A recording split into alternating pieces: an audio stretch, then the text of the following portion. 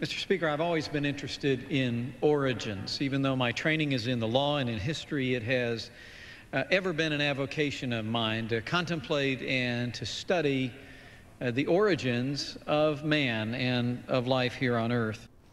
Then why haven't you ever done that? And many theories of origins have been propounded throughout our nation's history. No, Mr. Pence. In the entirety of our nation's history, only one theory has ever been propounded regarding the origin of man. Regarding the origin of life, there is as yet no theory.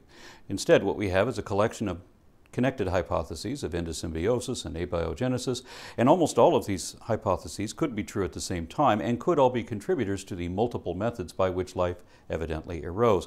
But thus far, none of them meet the minimum criteria required to qualify as a scientific theory. 1859, a sincere biologist returned from the Galapagos Islands and wrote a book entitled The Origins of Species, in which uh, he did then, Charles Darwin, offered a theory uh, of the origin of species, which we've come to know as evolution.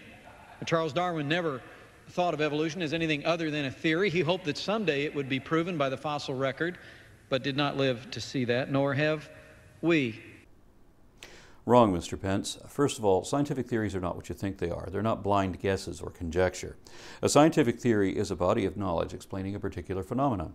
It is possible to disprove a theory, though I don't think that's happened in a hundred years or more, but science will never declare a scientific theory to be proven in the positive sense.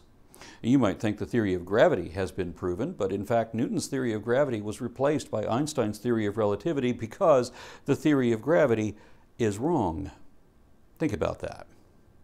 Relativity has been positively proven in a colloquial sense a couple of times since then, with the recent discovery of gravity waves and previously in 1919 with the solar eclipse that made Einstein famous.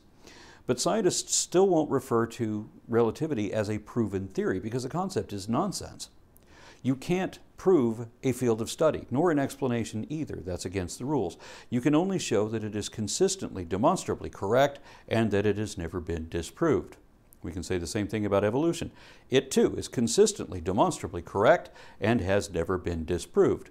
The theory of evolution has been effectively proven, too, in the same colloquial sense as has relativity, except that evolution has been proved many times over, many different ways, and Darwin did live to see that.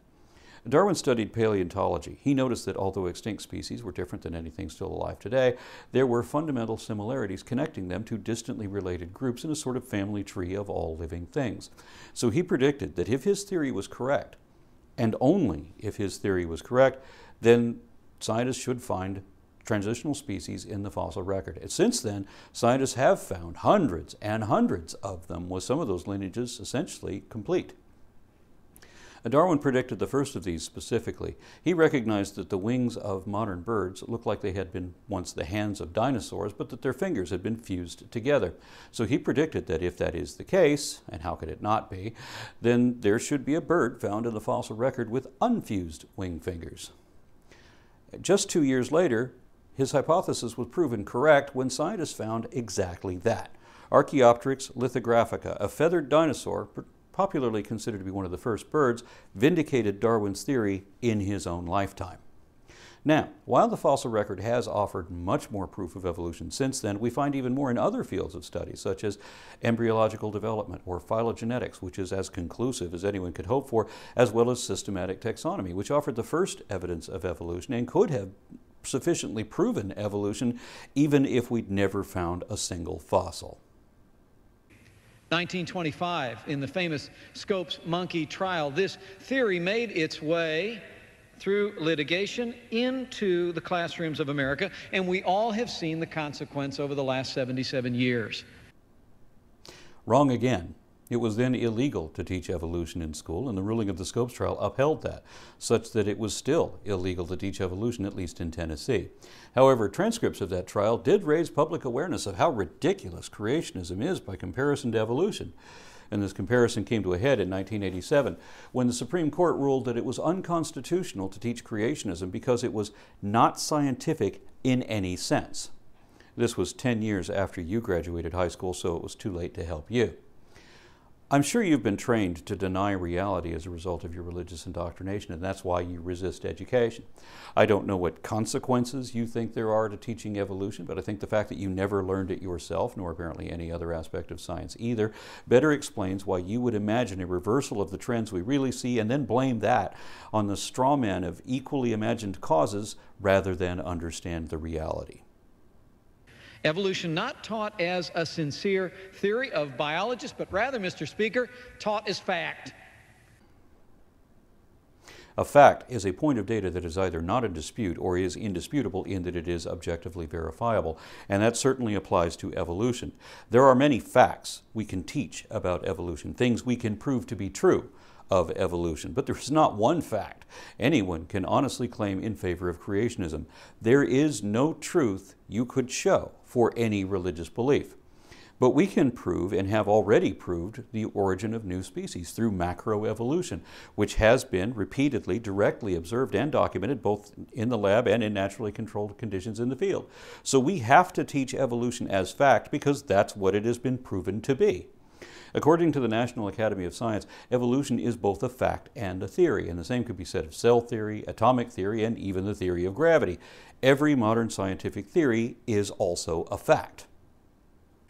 And lest anyone listening in would doubt that, we can all see in our mind's eye that grade room classroom we all grew up in with the linear depiction of evolution uh, just above the chalkboard. There's the little monkey crawling on the grass. There's the Neanderthal with his knuckles dragging, and then there's Mel Gibson standing in all of his glory. It is what we have been taught that man proceeded and evolved along linear lines. Rudy Zallinger's painting called The March of Progress was a fine illustration, and the linear format was well suited for classroom presentation. But the problem with it is that it is linear. It doesn't show the branches of the human family tree. Neanderthals, for example, were never considered to be part of our linear lineage. They're more like the older brothers of Homo sapiens. And they didn't drag their knuckles on the ground either. In fact, none of our ancestors did that. If you look at the lesser apes, they were already fully bipedal. Australopiths didn't drag their knuckles either, but we didn't know that back then. This image was commissioned in the mid 1960s, roughly a decade before the famous missing link was finally discovered, and it is already hard to tell where there could be a link still missing. The thing is, we didn't find just one of them, but dozens, as well as another 50 or so species outside of the hominin tribe, that is the human family tree. And that's the way it has to be represented, as a tree. And consequently, paleoanthropologists have been criticizing the Zallinger painting for at least 40 years now. Importantly, though, each of these individuals depicted are monkeys, not just the first one. We humans are still a subset of Old World monkeys. And importantly, all of these actually existed. We found every one of these in the fossil record. This lineage actually branches into four or more different lineages from a common source instead of just one line, but it is still real. The only reason any of these should exist is because evolution is true, and none of these would exist otherwise. But now comes a new find by paleontologists in the newspapers all across America. A new study in Nature magazine. Six to seven million year old skull has been unearthed, the Toumai skull, and it suggests that human evolution was actually, according to a new theory, human evolution was taking place, and I'm quoting now, all across Africa and on the earth. And the earth was once truly, and I quote, a planet of the apes on which nature was experimenting with many human like creatures. That's not a new theory, and the article didn't say it was a new theory either. That's Darwin's original theory. Evolution was always an explanation of biodiversity, explaining how one species becomes two, and then four, and eight, and so on, with only some of them going extinct while the others continue to diversify. The only new thing is that no one expected there would be so many different humanoids around at the same time. And remember that none of them would exist if creationism was true. This is one of many facts that only evolution can account for and that creationism has to ignore. In this case, the Toumai skull was one where paleoanthropologists can't tell if it's a human ancestor or possibly an ancestor of another of the apes we have today. It is significant that we have so many fossil hominids indicating natural selection rather than a divine orchestration, which would have derived only one lineage, such as Zallinger depicted. Paleontologists are excited about this, Mr. Speaker, but no one's pointing out that the textbooks, I guess, will need to be changed because the old theory of evolution, taught for 77 years in the classrooms of America as fact, is suddenly replaced by a new theory, or I hasten to add, I'm sure we'll be told, a new fact. The textbooks will not have to be changed, although they should be updated to include these newly discovered facts. The facts that are already in the textbooks are still facts, and it is still the same theory, except that now it is even stronger than it was back when you refused to learn it. Well, the truth is, it always was a theory, Mr. Speaker. And now that we've recognized evolution as a theory, uh, I would simply and humbly ask uh, can we teach it as such? Okay, but the first lesson should be what a theory is. If you could prove a theory, it would not become a law. Theories are more than mere laws. Natural laws are just observations phrased either as mathematical equations or as short statements that are consistently true under specific circumstances. Theories account for or explain natural laws. So the various laws of gravity, of which there are a few, are contained within the overarching theory of gravity. Get it? And likewise, proving a theory wouldn't make it a fact either, although hypotheses do have to be considered factual in order to graduate to the level of theory. Take, for example, atomic theory or the germ theory of disease. There is no doubt that both of these are certainly factual. Same with evolution. Maybe you can think of a theory as what happens when a hypothesis is effectively proven, because now modern science requires that level of confidence in order to graduate to the level of theory. There is no level higher than that. Theories include and envelop natural laws, testable hypotheses, and of course objectively verifiable facts, and are the body of knowledge explaining all these things within their particular field of study. And can we also consider teaching other theories of the origin of species? There aren't any. Evolution is the only theory of biodiversity there is or ever was. Like the theory that was believed in by every signer of the Declaration of Independence. Every signer of the Declaration of Independence believed that men and women were created and were endowed by that same Creator with certain unalienable rights. Before the days of scientific understanding, people believed in mysticism, even some of the smart ones. Many of the signers of the Declaration of Independence believed in phlogiston and vitalism, both of which were disproved in the 19th century. Do you want to drag science education back to the 1700s? The Bible tells us that God created man in his own image, male and female, he created them. And I believe that. Then you're a fool, one who too readily believes improbable claims from questionable sources on insufficient evidence, or one who believes completely something written or said by another without question, without reservation, or without reason. The Bible is a man made compilation of mythology, of adapted fables from previous polytheism, and every testable claim the Bible made has been disproved. I believe that God created the known universe, the earth, and everything in it, including man. And I also believe that someday scientists will come to see that only the theory of intelligent design provides even a remotely rational explanation for the known universe. You said this in 2002, just three years before the Kitzmiller versus Dover trial, which proved that intelligent design meets exactly none of the criteria required of a scientific theory. It's not a theory at all, but rather religion wearing a lab coat in an attempt to disguise itself to evade the law for a deliberately dishonest purpose. Its every claim has either already been disproved or is an unwarranted assumption that isn't supported and isn't testable either, being the very definition of irrational. And it was shown that it has not been able to provide any explanation for anything. Hopefully, a decade after that trial, you're not still spouting the same nonsense, right?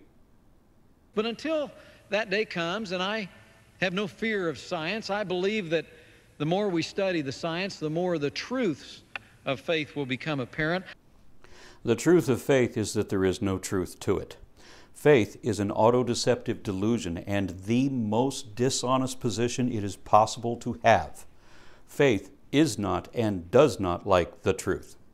I just would humbly ask, as new theories of evolution find their ways into the newspapers and into the textbooks, let us demand that educators around America teach evolution not as fact, but as theory. So you want teachers to mislead their students, to misrepresent the science and misdefine theories and facts and to pretend that there was ever a newer theory of evolution than we already have. There was another older theory of evolution before this one, called Lamarckism, but Darwin's theory replaced that, and there has never been another newer theory to replace Darwin's, though we have included some new things that we learn and add to the sum of knowledge on that subject. But let's also bring into the minds of all of our children all of the theories about the unknowable that some bright day in the future, through science and perhaps through faith, we will find the truth of from whence we come. Faith offers no way to discover the truth about anything, but it's a great way to stay wrong forever and never know it. The truth is what the facts are, what we can show to be true, in which case evolution is an inescapable fact of population genetics. The Bible is absolutely wrong about absolutely everything. You're an ape, and there evidently is no God. Those are the facts. I weep for my country that someone as willfully ignorant, scientifically stupid, and bigoted as you could get so close to ruling and ruining everything this once secular country stood for. For this election, I'm hoping for a grassroots replacement of you and everyone else like you at every level of government.